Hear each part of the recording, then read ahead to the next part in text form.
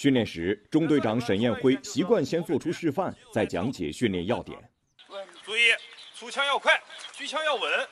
要想打得快，首先要解决打得准的问题。举枪举不稳，打得上也是闷的。然而，在特战排的一些新队员看来，这种长时间的负重狙枪训练简单枯燥，是否真的有效，需要画个问号。都说神枪手是子弹喂出来的，打得多了，消耗的弹药多了，自然能练得出来。花大量时间练习机枪，我感觉没有太大用处。面对质疑，沈彦辉决定用行动说话。钉子头的直径不到一厘米，沈彦辉要在十米开外用子弹将钉子敲进木板。在大家看来，这是不可能完成的任务。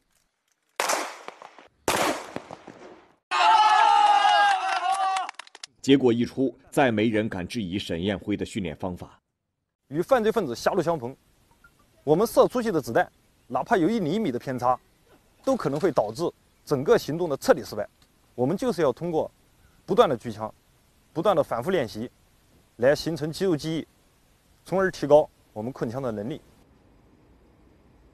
二零一四年，沈彦辉军校毕业，来到武警信阳支队集训期间，每每看到特战队练射击、练越障，他就觉得热血沸腾。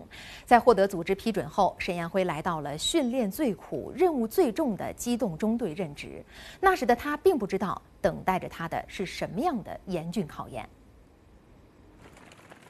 一五年年初，我们参加了总队的特战排轮训比武，分了三批去的。结果每一批都是倒数第一，总评也是倒数第一。当时这个中队落后有多方面的原因，一方面硬件条件差，整个营区还没有一个足球场大，训练场地和设施严重缺乏。最重要的是，中队争先创优的氛围不浓，缺乏一个素质过硬、有激情、有血性的主官把大家凝聚起来。比武回来，沈彦辉就暗暗定下目标，一定要带着大家打个漂亮的翻身仗。新阳地区野外环境复杂，沈彦辉利用平时驻训和魔鬼训练周的机会，狠抓训练，带领中队官兵们超越自我，挑战极限。根据侦察情况反馈，三八二高地为一独立山头，其东侧临水，西侧环山。二处就位。要求战士做到的，自己首先做到。每回训练，沈彦辉都冲在最前面。有一次练四万米障碍的时候，有些新同志有畏难情绪，他上来就先跑一趟，动作干脆利索，一分四十多就下来了。当时大家目瞪口呆，之后就是热烈的掌声。我觉得这就是榜样的力量。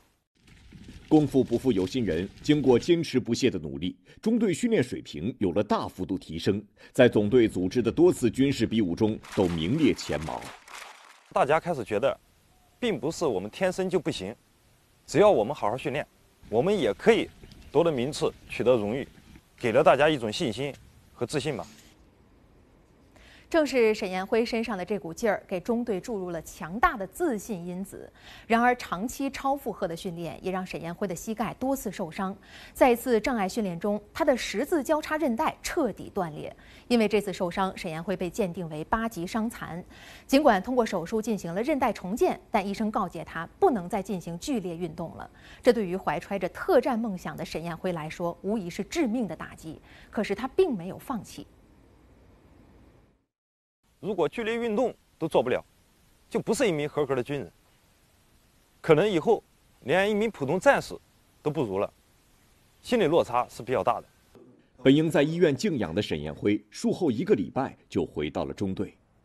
因为我们那时候正在准备总队特战集训，他就回来监督我们训练。他每天就是拄着一副拐杖出门，看着我们训练。为了恢复关节功能，沈彦辉忍着剧痛做康复训练。对重建后的韧带进行拉伸，基本上每天我都要给他掰腿，这样他的腿才能灵活。当时我给他掰了一个月，基本上每天他疼的就是汗顺着头发往下流。凭借着惊人的毅力，现在沈彦辉已经和战友们一起再次冲锋在训练场上。基层带兵人要做一颗呼啸的子弹，时刻冲在最前面，敢于叫响，看我的，跟我来。当好战士的领跑人，战士们才能迸发出奋进的力量，中队才能真正成为反恐处突战场上的拳头和尖刀。